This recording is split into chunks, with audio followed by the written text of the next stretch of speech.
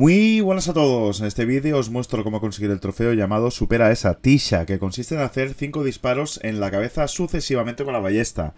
Primero de todo, hay que aclarar que tiene que ser sucesión rápida, o sea, los 5 disparos con la ballesta muy seguidos. Básicamente disparar a una cabeza, recargar y disparar inmediatamente a otra cabeza. Un buen sitio para conseguir este trofeo es en Venice Beach, ya lo habéis visto al principio del vídeo en la localización.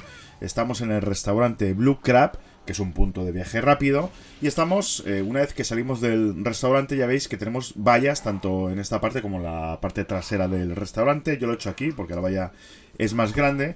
Y lo que tendremos que hacer básicamente es atraer a zombies hacia las vallas. Los zombies se quedan ahí pegados. Y aquí es muy fácil disparar a la cabeza. Simplemente nos ponemos aquí enfrente. No hace ni falta usar la mirilla.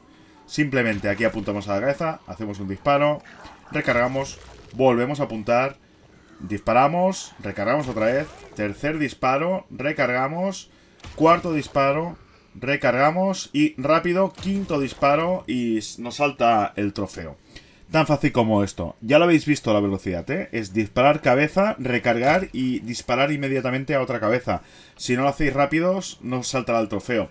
Lo bueno de aquí es que como estamos al lado del punto de transporte rápido, de viaje rápido, eh, ahí dentro, dentro del restaurante Blue Crab, tendremos un, un, banco de trabajo donde podemos fabricar más munición para la ballesta en el caso de que hayamos fallado. Por lo tanto, eh, como os digo, este sitio es bastante fácil para sacarnos este trofeo.